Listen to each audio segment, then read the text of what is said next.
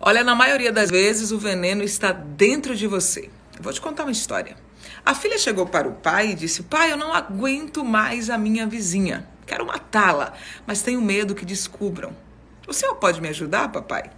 O pai então respondeu: Eu posso sim lhe ajudar, mas com um porém.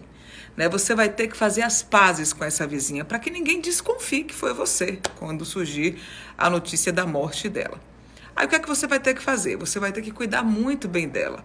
Ser gentil, agradecida, paciente, carinhosa, menos egoísta, retribuir sempre e escutar mais. Tá vendo esse pozinho aqui que eu vou te dar? Então, todos os dias você vai colocar um pouquinho na comida dela. Assim ela vai morrer aos poucos, ninguém vai perceber.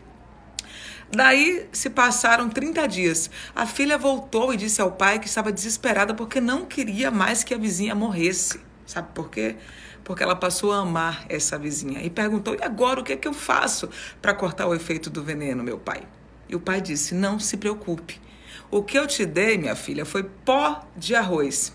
Ela não vai morrer, pois o veneno estava em você. Moral da história: quando alimentamos rancores, morremos aos poucos. Né?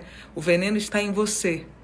Que a gente possa fazer as pazes com o nosso eu tratar o nosso eu e tratar o outro do jeito que gostaria de ser tratado. Que possamos ter a iniciativa de amar, de dar, de doar, de perdoar, de servir e de não julgar como a gente faz sempre.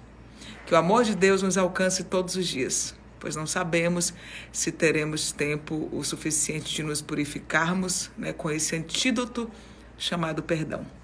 Perdão a nós mesmos.